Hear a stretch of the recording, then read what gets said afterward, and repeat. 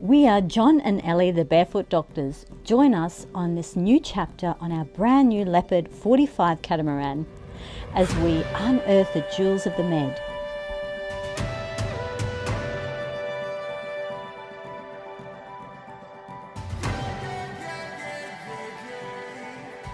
And the world. Because life is better barefoot. Here we are on the west coast of Italy, currently at Formia. As we prepare to leave, we see multiple fire fronts developing in the hills around us and from where we sit it seems like all of Italy is on fire. So the hills behind Formia are on fire. They have to be on fire all day but the the helicopters and the water drops are not controlling it and that looks like it's progressing. Now that looks like there's some houses that are under threat. These poor helicopters seemed to be dwarfed by the size of the fire, and it didn't look like they were making much progress at all, especially when it looked like they were only scooping up small amounts in that tiny little bucket compared to the size of the fire. But eventually, they seemed to get it under control, and as soon as they did that, they had to go up the hill because another fire had started gosh, it just seems to be like a losing battle for them. Now another one started. No sooner had they got that area under control, they had to go to another area and start all over again.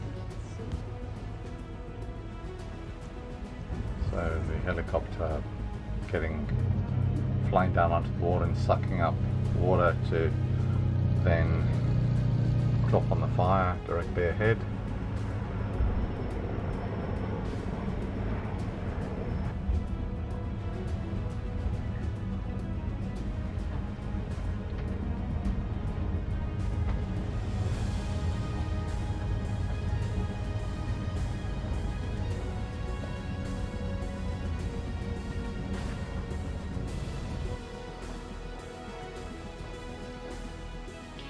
You can imagine, we are keen to get far away from this area as we can, as fast as we can.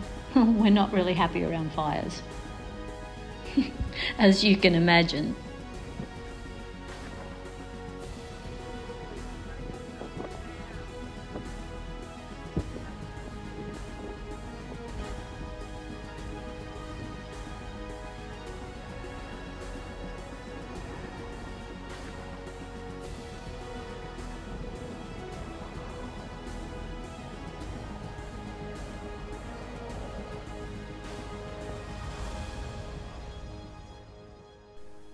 Next stop down the coast was the islands of Procida and Ischia, as well as Capri and Sorrento in the Bay of Naples. But these were very restricted areas and controlled by regulations you had to get online. We went online and tried to work through the process, but it was really, really complicated. And the applications for approval had to be sent with the money to the department, and you then had to wait for them to approve it. I tried to get feedback from the department as to how long this would take, and the answer was, well, maybe three days or maybe a week. We seriously considered missing this whole area out due to the hassles involved, but we stuck with it. We paid our 20 euros for a week's Category B approval and hoped that it would come through in time. The regulations were very complex with four categories from Category A, where you are not even allowed to drive through that area. The yellow areas are Category B, where you're allowed to anchor but do almost nothing else. We wanted to get away from the fire fronts anyway, so we headed off down the 35 miles to Procida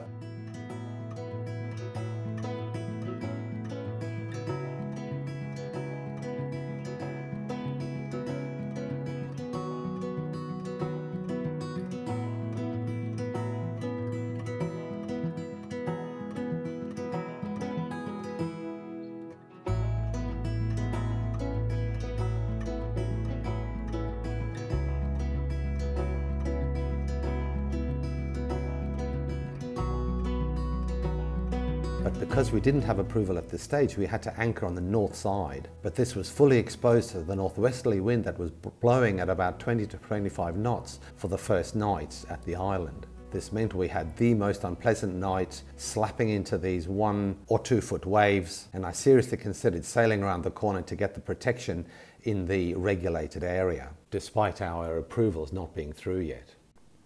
This is Nellie's first night in a really rolly anchorage. I hope she'll be alright. Okay folks, so John is out on the next adventure. We're not long poured ourselves a wine and nibbles and Nellie saw a floating cushion. So John's decided to jump on the sup and go and see if it's worth retrieving. Look at the style. Look at that technique. The prize from the gods. A yoga mat. We always keep an eye out for anyone that it may belong to. Ah, but time for a glass of wine and to watch the sunset. A sunset looks beautiful in any part of the world, no matter where you are. So let's sit back and watch this one. Is there really such a thing as this green flash? Well, yes, there is, because John and I have seen quite a few. Actually, it's one of our favourite things to do as we watch the sunset.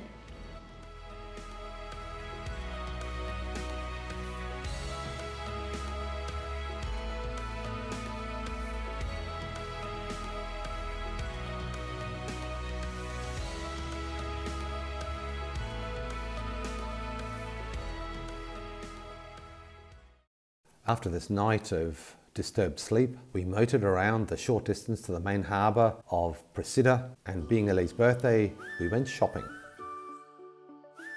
And what a gorgeous little place this was, too.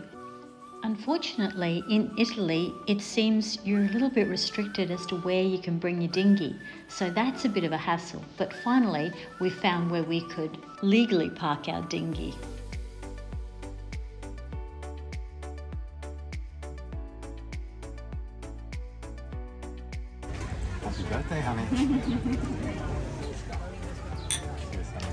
My fish and chip burger. I didn't expect my chips to be inside the burger. I thought they'd be on the plate beside it.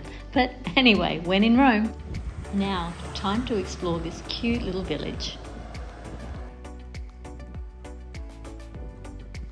Buying Ellie a few cute little numbers as well as a lovely bikini. Oh no, it's not. It's a one piece, she tells me. They all look just as good to me. What? Ellie sunbaking?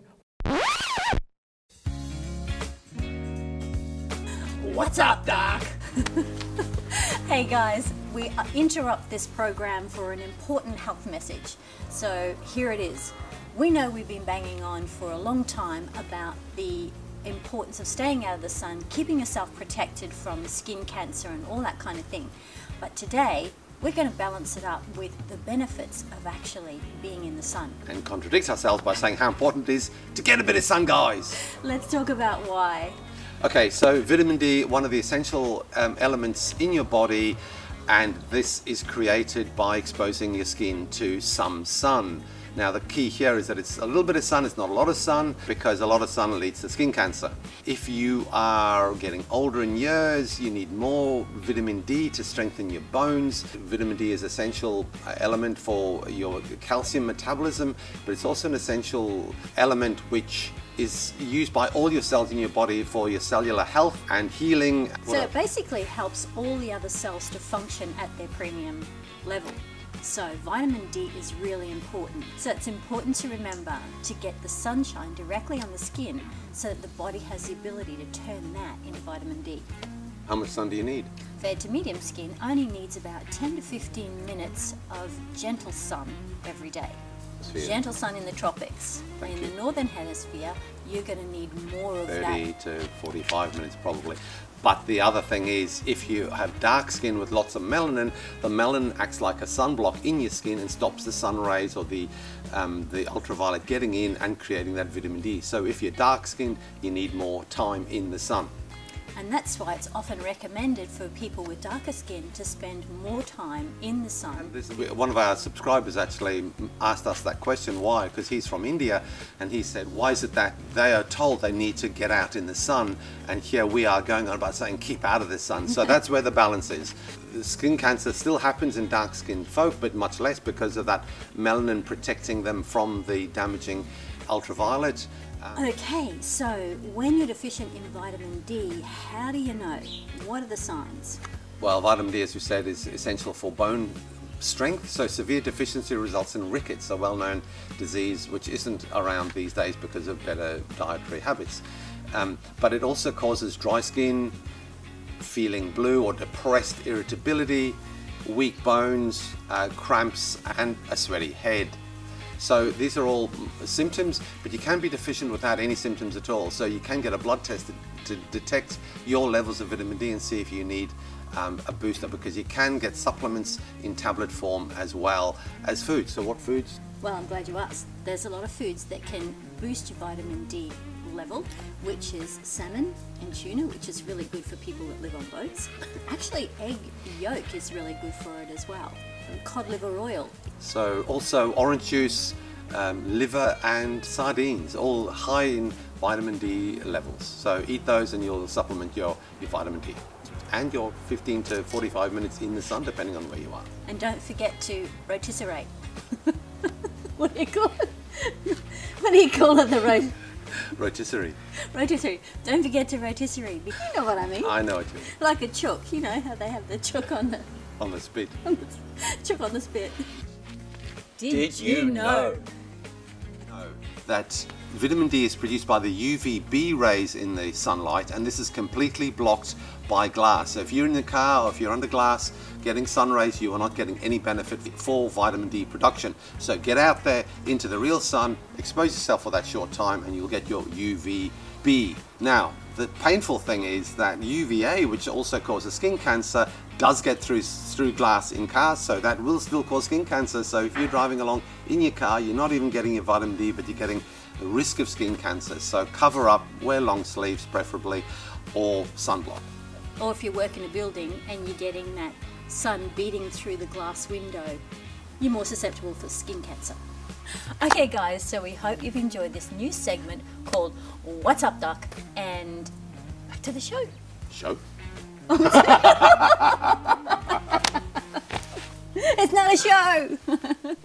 After the day at the main harbour of Procida, we did get our approval for the Category B authorisation, so we made our way around to the south side to get protection from the swells and anchored just outside the marina for another night until they had space the following day. Here we had crystal clear water and lovely flat seas for a good night's sleep. You'll be squealing if they bite you. I will be. Oh, they didn't! I Little fish nibble.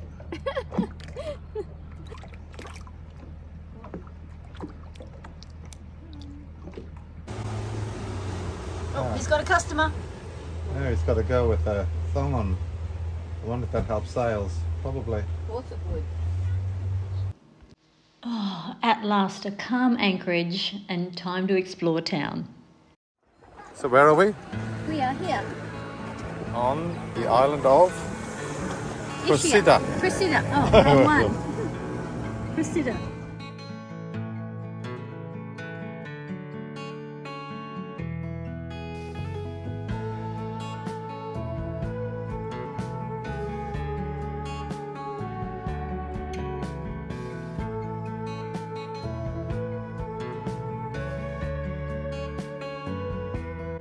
The marinas and ports seem to be jam packed at this time of the year. We are lucky to get a spot.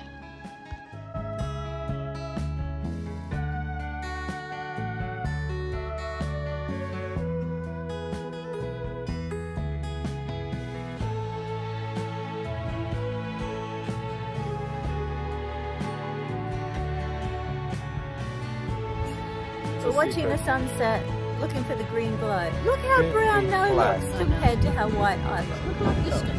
You're biscuit.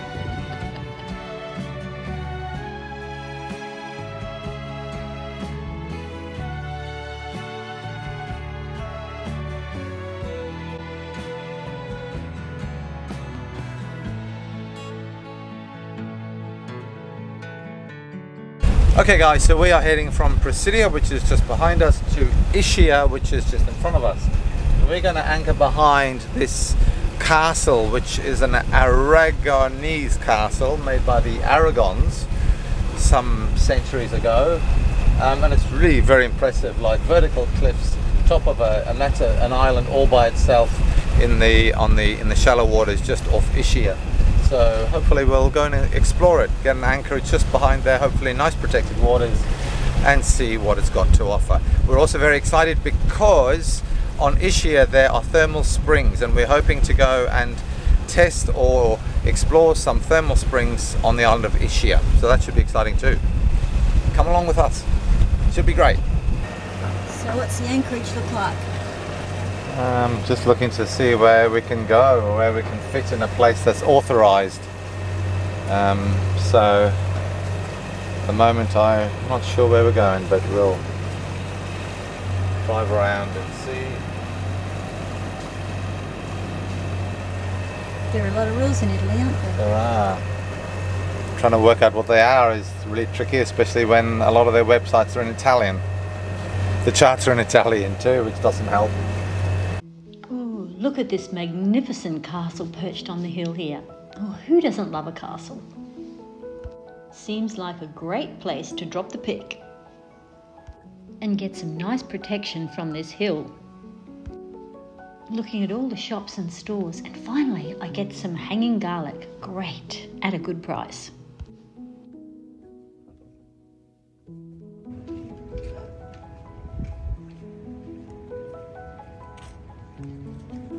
Took a bit of a shine to these jumbo donuts. They are so delicious. We'll just need one between the three of us. What you got there? We have got here a donut. It's big. Fancy it? Oh, warm too. Mm. Ooh, looks good. What's the what's the verdict? Mm. Very nice. Time to explore the castle and to wear off some of the calories of that donut.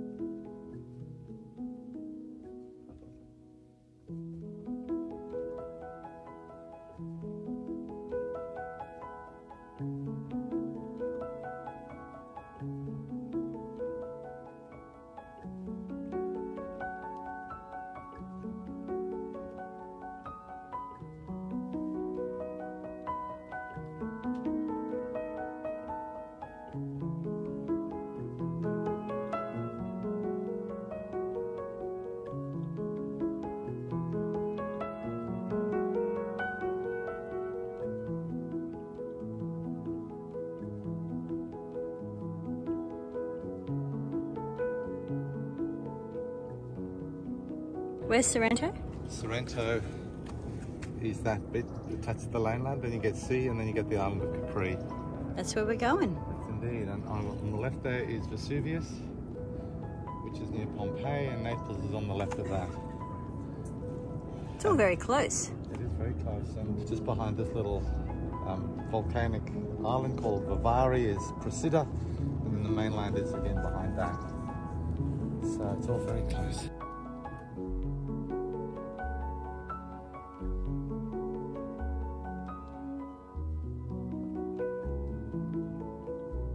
Like I say, if you want to get to the good places, they're always up.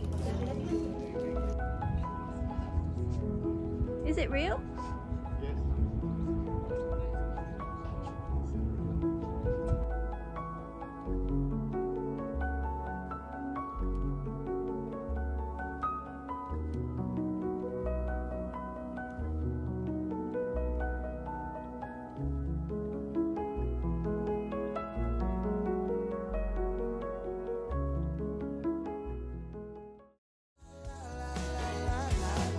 So thanks for watching guys. We hope you've liked this video and if you really have and you haven't subscribed yet, subscribe and then like and then tick the notification button so that you get notified when there's a new video out.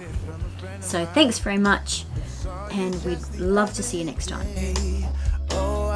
Important key here is you have to get the vitamin D directly on the skin.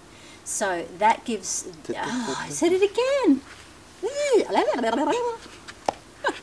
Let's try it again. Third time lucky.